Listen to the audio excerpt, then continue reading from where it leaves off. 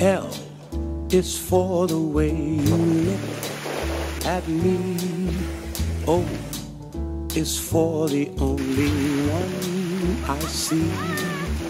V is very, very extraordinary. E is even more than anyone that you adore, and love is all.